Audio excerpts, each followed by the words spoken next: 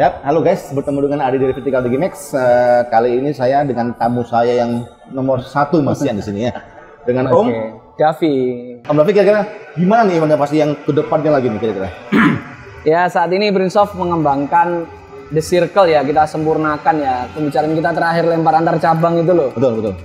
Bro Ade jadi gimana efisiensi di teman-teman printing Hmm. biar lempar antar cabang itu bisa optimasi bahan karyawan scene jadi eh, cost itu bisa di reduce gitu Oke. bisa dikurangi itu yang kita fokus kembangkan sampai saat ini dan beberapa print shop lain sudah banyak yang pakai di Jakarta ada yang pakai, di Depok ada yang pakai, di Pati sama di Kudus sudah pakai The Circle itu dari SIP Max ya. Oke. SIP Max Sistem Informasi Max versi 2.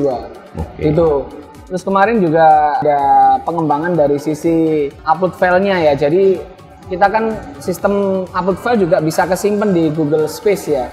Harapannya nanti teman-teman nggak perlu lagi email-emailan antar cabang. Nah, Jadi selain datanya yang di forward, filenya juga bisa di download dan di upload Mas. Adi, kayak Oke, gitu. oke. Itu sih untuk saat ini yang lagi kita perbaiki, kita optimasi gimana biar sistemnya itu makin cepet kayak gitu. Teman-teman yang pengen tahu tentang Prinsoft gitu loh. Ya oke. Terus uh, kulik-kulik ke saya kan. Saya bingung, bingung jawab ya kan. Kita tanyakan langsung Oke, ke- Mas Adi. Ya, oke. gimana, Mas Jadi Adi? uh, apa yang membedakan antara Prinsoft dengan software printing yang lain nih? Wah ini ini cukup berat ya menjawabnya. Maksudnya kan karena berkaitan dengan yang lain juga. Yang saya pahami gini Mas Ade, di Brainsoft ini platform ini sejak awal kita sudah pikirkan dari tahun 2017 itu kita ini biar nanti enak pengembangannya, terus teman-teman juga eh, lebih mudah untuk dipak- dipakai di tiap cabang atau misalnya untuk integrasi dengan pihak ketiga. Kita sejak awal merancangnya versi web based kalau yang saya lihat dari teman-teman yang lain beberapa masih pakai desktop based offline ya. Kalau kita web based online seperti itu Mas Ade. Jadi banyak sekali ke- kelebihan yang ada di sistem ini gitu loh Mudah-mudahan teman-teman puas ya jawabannya.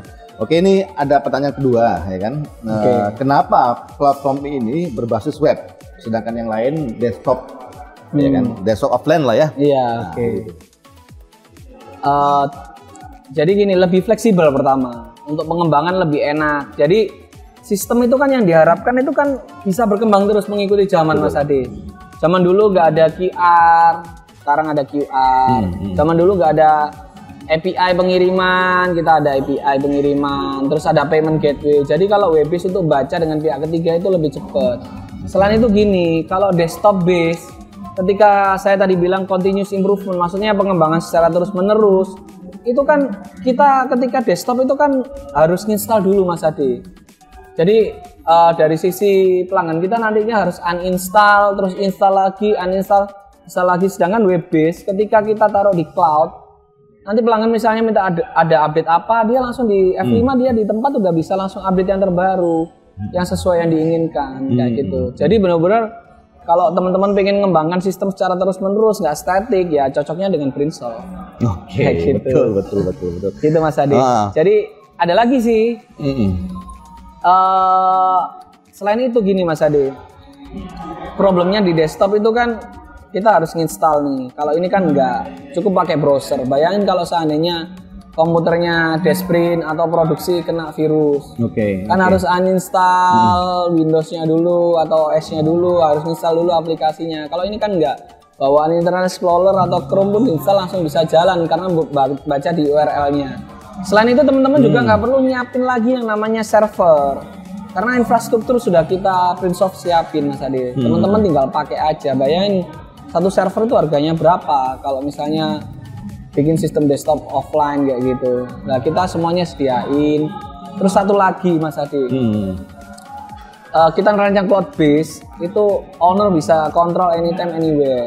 Mm-mm. Sebagai owner kan enak dari rumah, dari kita ngobrol gini. Saya punya klien di Ambon ya Pak Abu Awin itu sangat seneng banget. Kemarin ngasih lihat ke saya beliau masih ibadah umroh di Maka ini loh saya bisa ngecek omset saya gitu. Nah fleksibilitas itu yang ditawarkan oleh Princesoft kayak Oke. gitu Mas Adi. Ini Om, ya, kira-kira yang saya tanyakan pribadi, Mm-mm. ya kan. Ah, tadi kan serem juga deng- dengar kalau setelah kena virus Mm-mm. harus diinstal ulang, Mm-mm. sedangkan data itu udah ada di situ semua, Bener. sedang kerjaan jalan. Bener. Terus gimana kira-kira misalnya? Lah itu kan untuk yang lain. Kalau di kita kan cloud base Iya. kan server data pun semua di Google Cloud ya. Jadi siapa sih yang uh, sistem yang paling bagus sekarang kan infrastruktur paling bagus di Google. Sejak awal pun kita ngerancang kita uji coba dari beberapa platform ya. Itu emang the bestnya Google sih.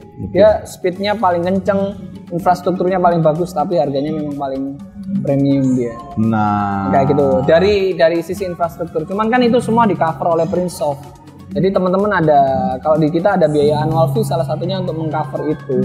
Karena kita mengerjakan banyak print shop jadi akan lebih efisien annual fee-nya itu dibandingkan anda membangun platform sendiri beli infrastruktur Google Cloud sendiri bayar programmer sendiri kayak gitu itu nggak akan efisien dan kita studi kasus kan juga banyak mas Adi Mm-mm. jadi tiap print shop itu punya unik gitu loh. Ada sesuatu yang berbeda antara satu print shop dengan satu print shop yang lain. Nah, itulah yang membedakan. Jadi pernah lihat ini nggak?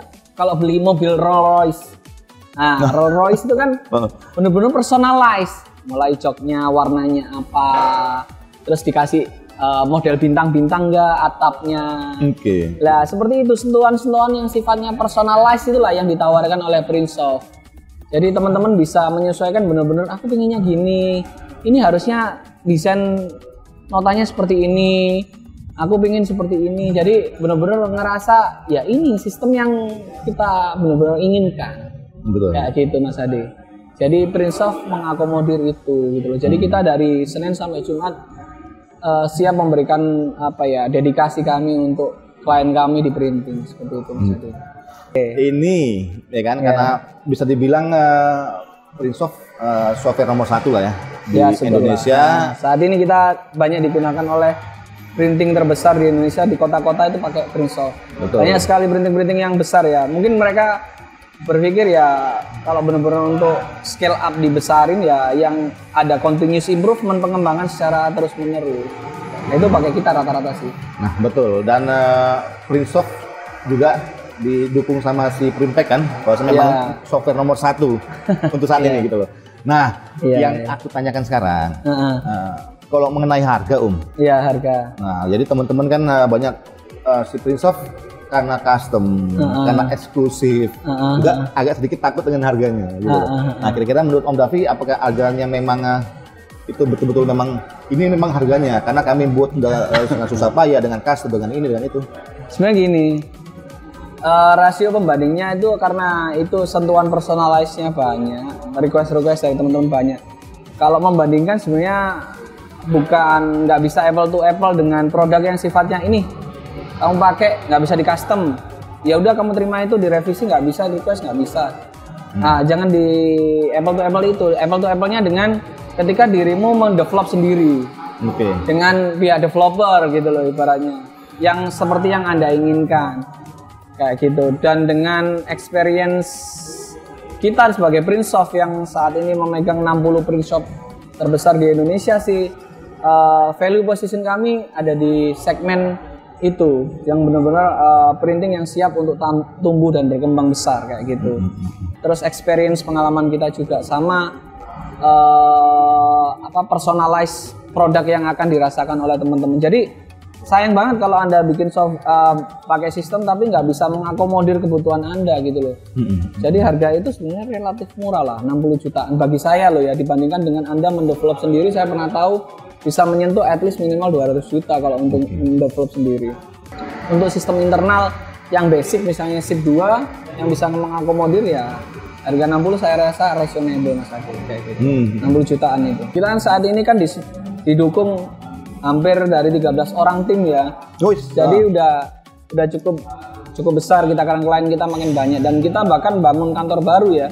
Ini harapannya nanti Mei bisa ditempatin Mas Ade. Wis, Nanti grand opening mampir ya. Siap, siap, siap, siap. Harus mampir nanti ya. Oke, oke. Lagi tahap finishing lah ya. Nah, Jadi nanti kita juga bisa nambah engineer lagi, nambah analis, nambah tester yang yang harapannya bisa meningkatkan pelayanan lagi dari Princesoft kayak gitu.